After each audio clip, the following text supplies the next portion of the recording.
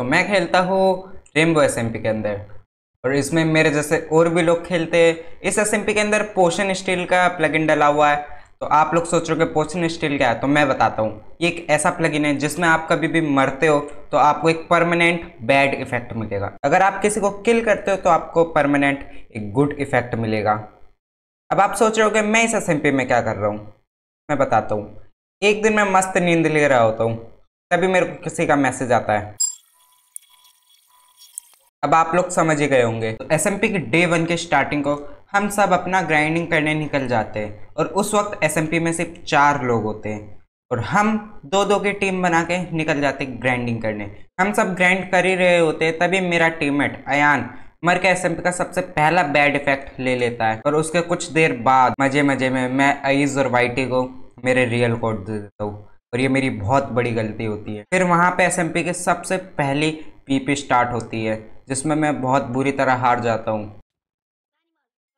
तब मैंने कुछ भी प्लान नहीं किया था, मगर मेरी मौत के बाद मैंने सोच लिया था कैसे भी करके खुद को पावरफुल बनाऊँगा और अईज और वाइटी से बदला लूँगा। पर ये इतना भी आसान नहीं होने वाला था, क्योंकि उनका डुएल और पीपी स्किल मेरे से बहुत बेटर है। एसएमपी के कुछ दिन बाद एक न्यू मेंबर हमारी एसएमपी में आता है, जिसका नेम उज्जवल था। मैंने उसको मेरी टीम में लेने की सोची और वो आ भी गया। अब मेरी टीम में तीन मेंबर हो चुके थे तो मैं उनके साथ निकल जाता हूँ ग्राइंडिंग करने। ग्राइंडिंग वगैरह करके मैं अपना एक बेस बनाता हूँ। और जब मैं अपने बेस पे रिज्वाइन करता हूँ, तब मुझे पता चलता है कि मेरा बेस किसी ने टीएनटी से फोड़ दिया है। पूरी एसएमपी में दो टीम होने की वजह से ये तो क्लियर था कि मेरा बेस एज और वाइटी ने फोड़ा है। मेरा सामान तो बच गया था, मगर मेरे विलेजर वो नहीं बच पाए। काफ़ी दिन ग्राइंड करने के बाद SMP के ओनर ने, यानी ईज गेमर ने एस की सबसे पहली वॉर रखी थी। तो मैं और मेरे टीममेट थे पीपी अरीना पहुँच गए। मुझे पता चलता है कि मेरे दोनों टीममेट नहीं आए। अयान और उज्जवल। वो दोनों पीपी अरीना में नहीं आए थे। यानी ये पीपी मुझे अकेले लड़नी होगी। लेकिन तभी मुझे पता चलता है कि एसएमपी में हमारे एक और न्यू मेंबर है, जिसका नाम रॉयल है।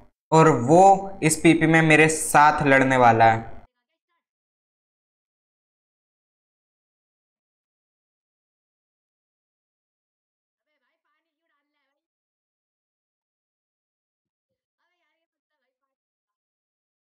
आरजी को तो बाद में मार पहले बता दो। क्या भाई क्या आरजी भाई? उसमें साथ से गेम खेल रहे हो अपने टीममेट अरे तू पांडा के साथ है यार मार ले हमको। अपने टीममेट को तो बचा ले। मेरे को मार रहे साला मेरा टीममेट। हम सबकी पीपी स्टार्ट होती है। उसमें दस पंद्रह सेकंड बाद रॉयल मर जाता है। और कुछ देर बाद मेरा भी आर्मर टूटने की वजह से मुझे भी वहाँ से भागना पड़ता है।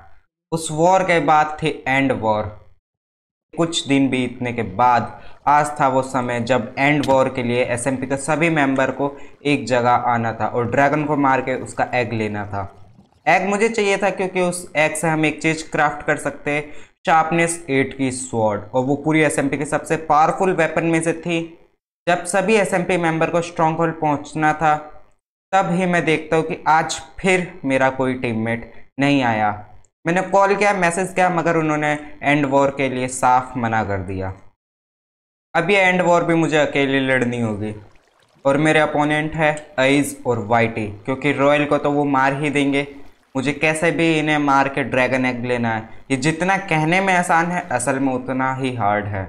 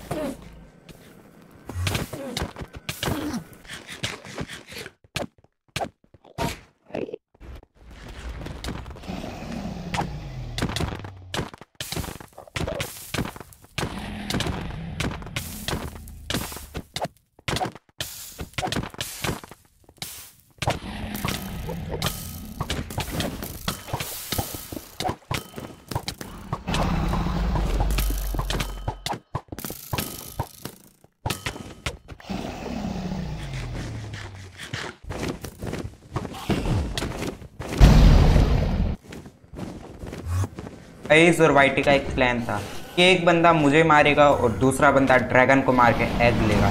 ये बात मैं समझ चुका था तो मैंने कैसे ना कैसे स्पैम अटैक करके वाइटी को तो ओवर वर्ल्ड भेज दिया था। बस अब अईज को कैसे भी करके ओवर वर्ल्ड भेजना था। काफ़ी देर तक कोशिश करने के बाद मेरा आर्मर टूटने और एप्पल ख़त्म होने वाले थे, तभी इस बीच वाइटी भी वापस आ चुका था। और एग भी उनके हाथ लग चुका था, ना चाहते हुए भी मुझे वहाँ से भागना पड़ा। मगर ये वॉर यहीं पे ख़त्म नहीं हुई थी।